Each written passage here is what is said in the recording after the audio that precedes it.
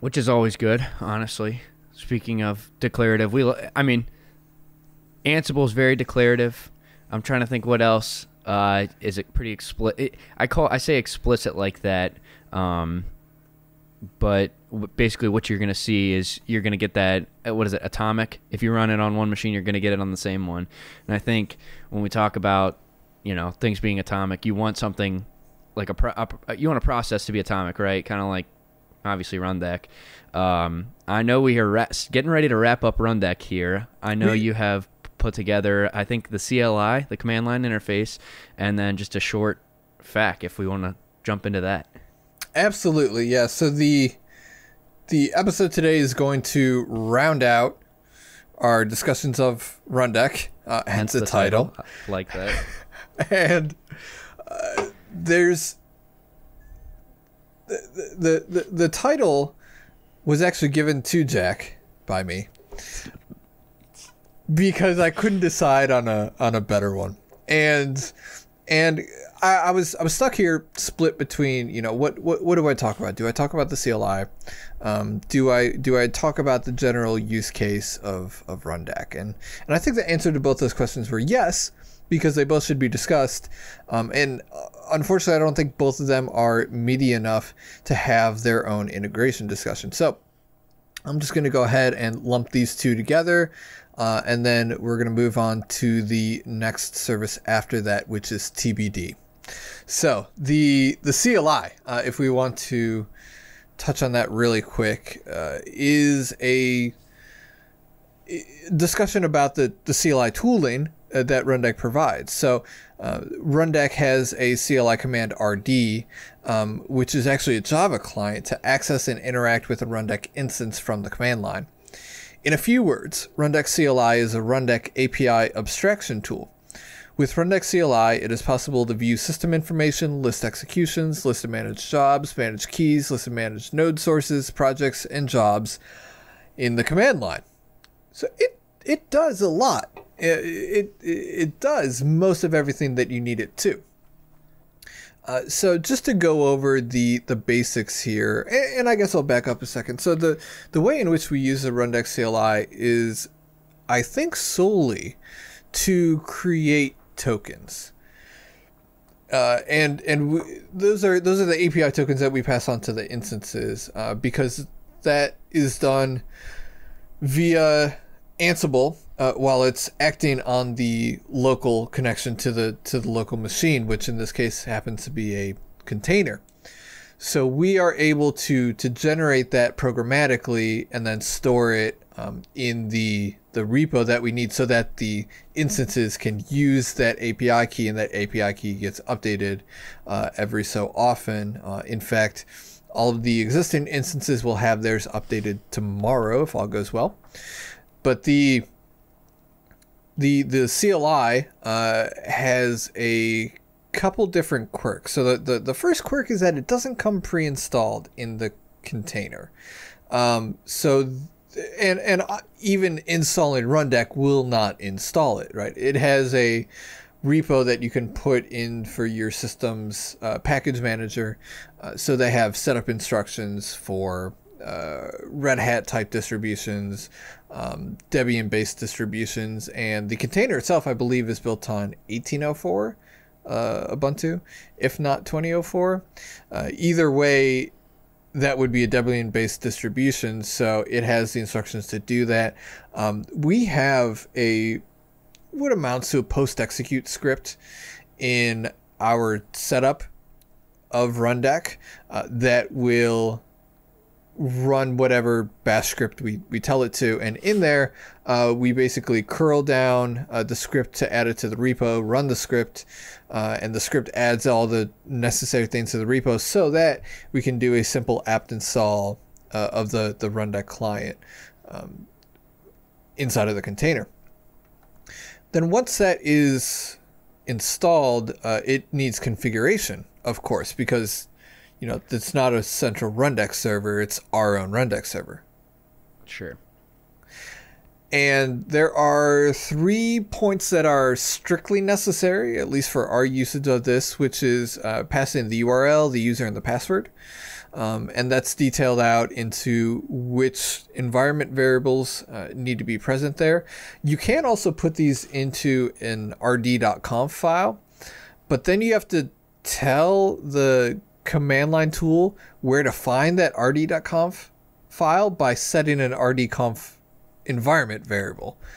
So it's like for for some reason, if you don't want to set up the URL, user, and password as environment variables, you can set up this other environment variable pointing to a file with nice. those things in it. So, I, more choice, I guess. Uh, if if you need that uh, flexibility, but uh, you're not really going to get. Actually, you you know what? There is probably a flag. I haven't looked this up, but there's probably a flag that you could pass uh, to the RD command line tool to specify where that file is in case you really really don't want to specify environment An variables. environment variable for it yeah but that's that's that's a bit much for me i th- i think i think it's fine uh, to set environment variables it's not taboo for anyone um, uh, and, and you can also use an API token if you want to. I forgot to mention that. So that's that's also available. Having uh, discussed that, previously, those are those are available uh, to use on the command line.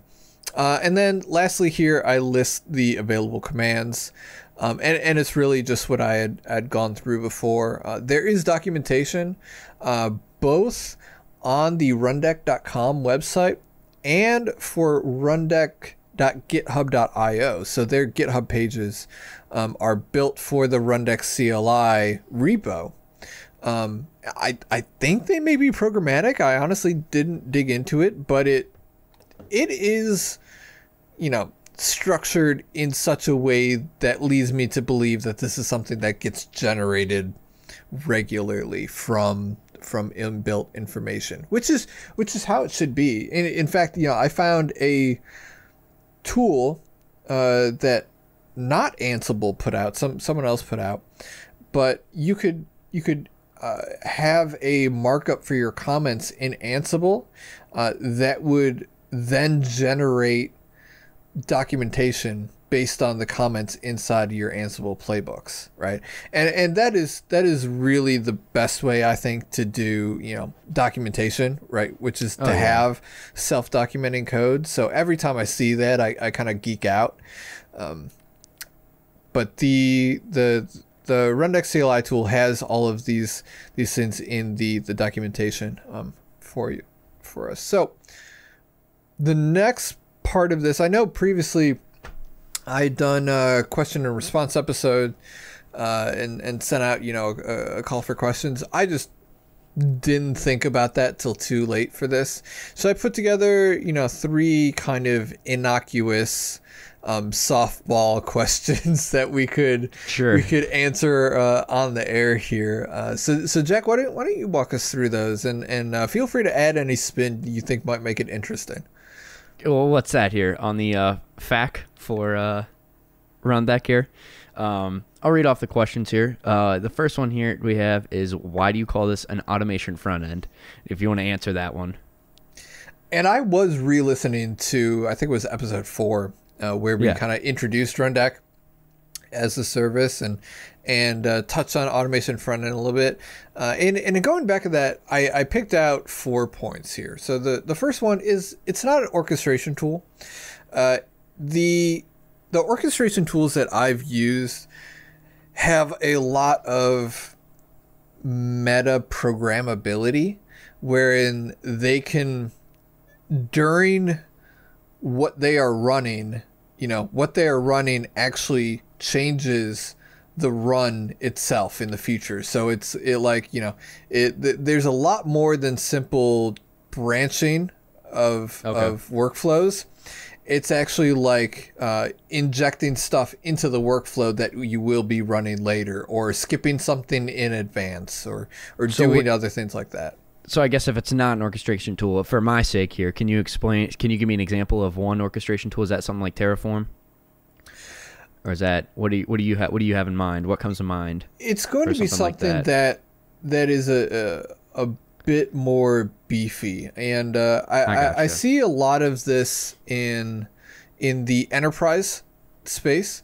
So Sure. you you think uh, ServiceNow, right, where it is Okay. also a Okay. CMDB I've and it gotcha. is also an ITSM tool. So you're managing stuff from within change tickets about you know uh, items in your configuration management database, uh, and then you're pulling all of those together, and it's making decisions on the fly as to how to deal with the input that it it receives. Um, so then that can call out then to an automation front end um, to to run individual scripts, right, and and, and to run one thing at a time, rather than walk through an entire event of of different scripts. Now, that's not to say that it's impossible to do that with Rundeck. It's just that Rundeck's functionality is limited in that regard. It it keeps itself to simple uh, simple conditional, simple workflow steps, right? You can do things like include jobs with other steps and have conditional steps, and so there there is there's a way to do it, but it's not as beefy as some of the other things that I've touched. Nor do I think sh- it should be. Okay. Um, yeah. and, and, yeah. and that's one of the other things too, because it's the automation front end is meant to replace butts and seats, right? It's meant to say if you're working through a change ticket and you get to a task and say, have this team run this script, right? I hate to see that because that should be automated, right? And that's the orchestration's job to say, how do I call that thing, right? And with Rundeck, you have a real simple answer. You call it through Rundeck. Like, I mean, that's right. that's the answer to that question Right. in all all scenarios. So Rundeck should be the thing that replaces that butt in the seat, and then it should also allow someone to go in and run it, you know, as as you would, you know, in in your seat. You know, they they should allow that kind of interaction so that you can get that hands-on experience to test it, to go through it, you know, while you while you ensure that this is something that does work correctly in fact the majority of the time and then transition it over into an orchestration tool. Um, the third reason I have as to why I called this an automation front end is because command and control server was already taken. Uh, the interesting thing about Rundeck is that we don't simply use it to to push out reactionary changes, right? Um, the instances themselves can proactively contact Rundeck to have it do something on their behalf, right? So this isn't this isn't a, a, a, dummy kind of instance that we have running out there. It isn't simply something on SSH into to run scripts. It's something that has a service that can accept input and and commands from from other location. Uh, so there there's a bit more nuanced approach to a, a simple run the script type of, of interface. It it needs to be secure enough to be accessible uh, to to receive those requests from other machines, right? So it, it's it's not simply a you know. Uh, what are some of the things that you and I came up with, Jack? I mean, we had we had a couple different options like a configuration server or central management. Yeah, right? one was specific to SQL, I think. Yeah. Mm-hmm. Yeah. and and what we really wanted to communicate was this this is a, a, a front end right both in a sense that it can be used by humans and contacted via the api right by by machines right for our automation um, which would be the underlying stuff that we programmed it to do so that's a that's a long explanation to what probably is a simple question in that- Answer as why we call it a front end because there's a front there's a web UI around it. yeah yeah Uh, okay, all right, and that's fine. I mean, that I think all those answers honestly Mm-hmm. are kind of needed because you're right. It's not a full on. It's not an enterprise automation tool, right? It's not right a ServiceNow or something enterprisey, but it does give you enough power to do what you need to do and con- control the machines. Uh, the next one here, the next question I have for you is: Don't you, don't we, doesn't OurCompose just use a small subset of Rundeck's functionality? Yes, we do. so, uh, talk about softball questions here. Yeah, I mean we're we're not using a lot of what Rundeck has. Uh, for instance, I mean I've already talked about it. You know, you're able to call jobs from within other jobs, right? That that alone, right, is one of the things that I look for in any kind of tooling that I'm using because that means that I can make stuff modular. That is very very important, right? Uh, this this whole manual execution, automation, orchestration, three tier hierarchy thing also exists when you're running scripts. You look at, you know, how we run Ansible. We have we have meta playbooks include specific playbooks which include the necessary roles or the, you know. So so you you want to have this modularity as, as as far as you can, you know, and and Jeff was even talking about it, you know, making stuff just yeah, make it able to make it be able to plug in. Make it make it something easy that developer can walk up and say, "Hey, look, I, want to do this with this," and you just say, "Okay, great. Our tool has these features available for you to basically plug and play with your plugin or with your application, whatever you want to kind of si- side load." I'll say. Yeah, and and that is also something I create for future Andrew because I don't know what he's going to come up with, what problems he's going to face. So the more I'm able to make things in a modular type fashion, the more I'm able to to give myself the freedom to do cool things down the road. Right. So so that's that's one of the things that, that we just don't use from within Rundeck because we've already got it down with Ansible. Like we we don't right, need we right. don't need this functionality out of Rundeck because a lot of what we do is in Ansible. Uh, speaking of that, you know, we don't need to put all the nodes that we manage into Rundeck. We don't need the all the instances to be uh, connecting. Managed. Yeah, yeah to, right. To, to, to be you know able to connect via Rundeck, to be managed via Rundeck. You know, we're we we just don't because we have uh, inventory files in Ansible and we have uh, private keys that we we keep you know secured secured within Rundeck right? Uh, but not necessarily something that we need to to manage the instances with. Ansible does a perfectly fine job itself going out and doing the needful, right? Uh, so, you know, there may come a point in time but we need to, but but once again, this small subset that we're using Rundeck for, you know, is is for mainly for the is mainly for the GUI on top of this and for the API. Oh, for sure.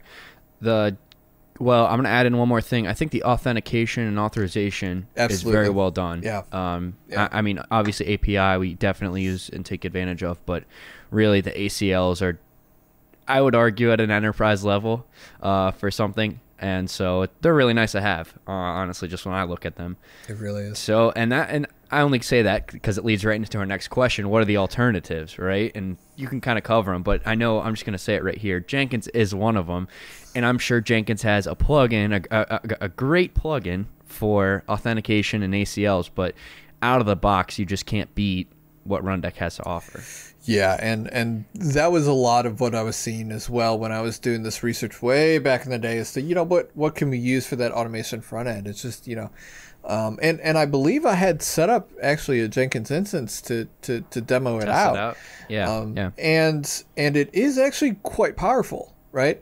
Um, however, sure. at its heart, it's a true automated leave it alone CI/CD, you know, yep. Uh, application builder and and while you know you can bastardize it into an automation front end why do that when you have something like rundeck right when you have something whose whose sole purpose is to be able to to provide that that front end for the for running the scripts now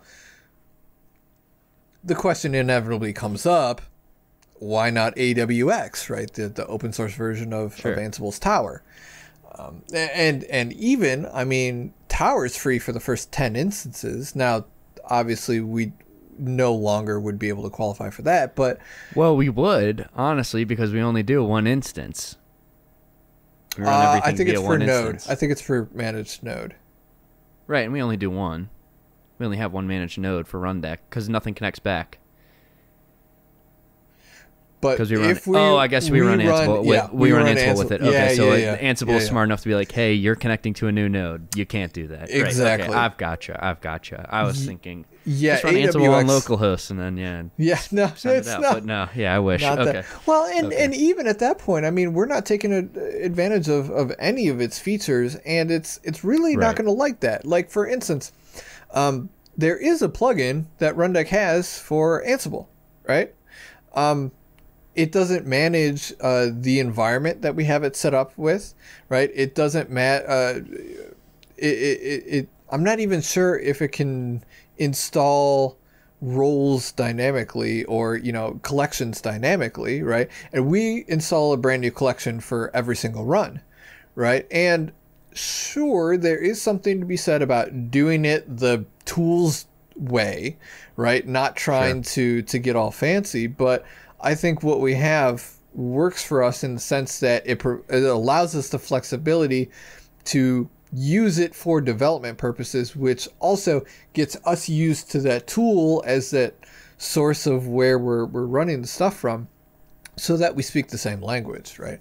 Um, AWX, uh, no doubt, is going to have those limitations in place as well, right? Right. It's it's going to expect something. It's going to be opinionated, um, and it's also going to want to. And and I've learned this from from my day job. You know, it's going to want to run in containers. It's going to want to have execution environments.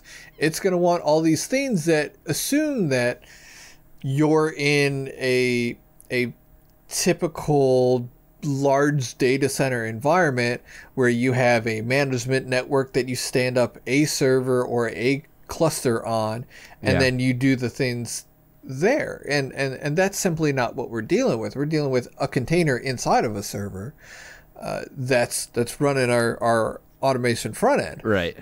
whereas AWX would want a lot more control over that. Um, not saying that there's not pros uh, to to each of those. You know, Jenkins being able to do a lot more of that meta programming that I was talking about, that orchestration, um, and and AWX really being the gold standard for for Ansible. Uh, but I think for where we are and what we're doing, Rundeck is the perfect fit. It allows me to do just what I need in the way I need to do it. Absolutely. It fits our need perfectly. Honestly.